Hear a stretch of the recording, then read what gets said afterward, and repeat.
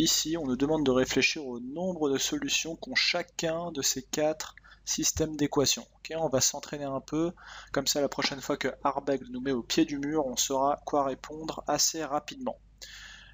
Alors d'abord, avant de s'attaquer à l'exercice directement, rappelons chacun de ces cas.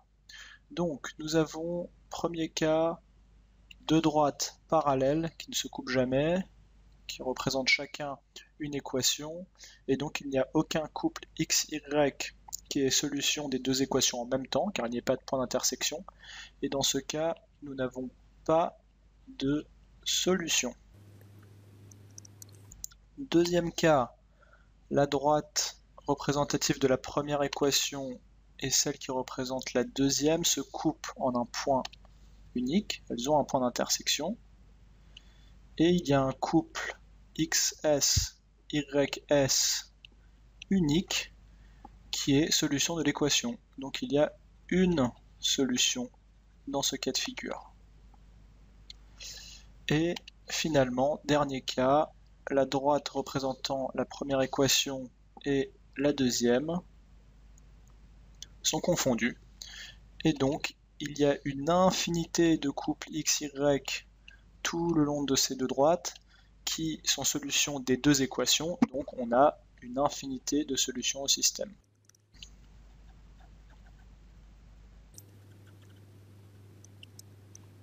Dans le cas où on a une solution unique, on dit que les deux équations, chacune représentée par une droite, on dit que les deux équations sont indépendantes.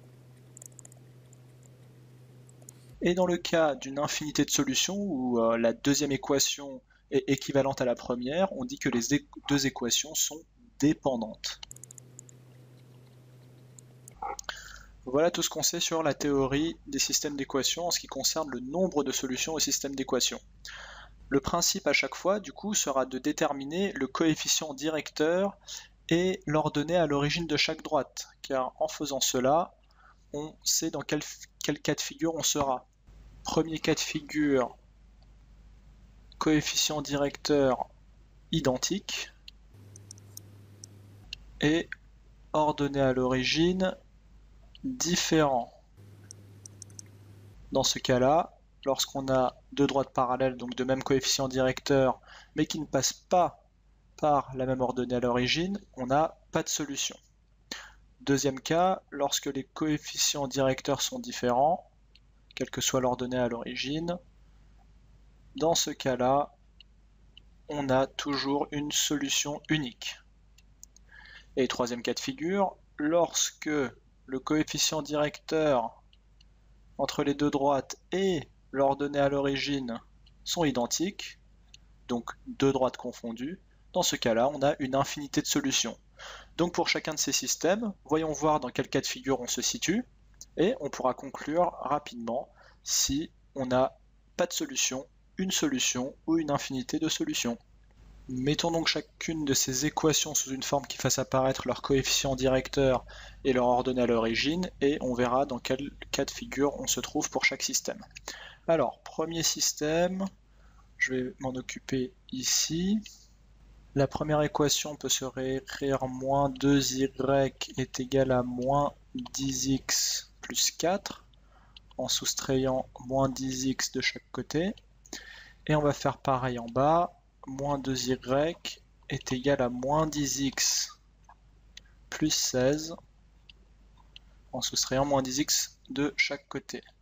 Et le système devient, en divisant par moins 2 en haut et en bas, y est égal à 5x moins 2, et en bas, y est égal à 5x moins 8.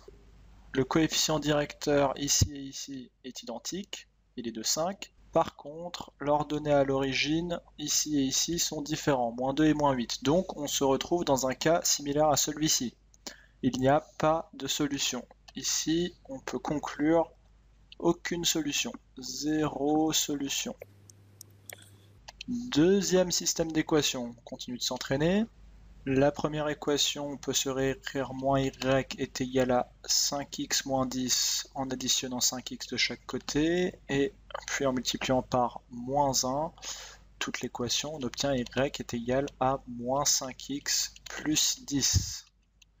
En ce qui concerne la deuxième équation, en une étape on peut y arriver, donc on va l'écrire directement ici. y est égal à moins 4x moins 8.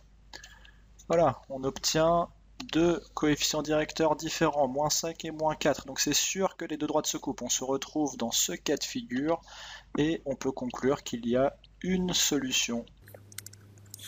Troisième exercice, on réécrit la première équation en soustrayant 2x de chaque côté. On obtient y est égal à moins 2x moins 3. Deuxième équation, on va d'abord tout multiplier par 2.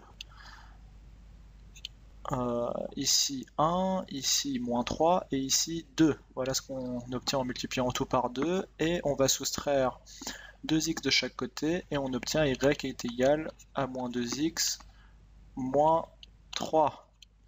Là, on se retrouve dans le cas de figure où on a le même coefficient directeur, la même ordonnée à l'origine, donc il s'agit de ce cas de figure-là, les deux droites sont confondues, on a une infinité, une infinité de solutions. Quatrième exercice, on va d'abord soustraire 2x de chaque côté là-haut, y est égal à moins 2x moins 4. Et deuxième équation qui est déjà sous la forme qu'on veut, y est égal à 2x moins 4. Alors attention, ici les coefficients directeurs sont différents. Les deux équations se ressemblent mais elles ne sont pas identiques, les coefficients directeurs sont différents. Donc on est dans ce cas ici où on a une seule solution. Voilà, nous avons résolu les quatre exercices et trouvé le nombre de solutions à chacun des systèmes d'équations.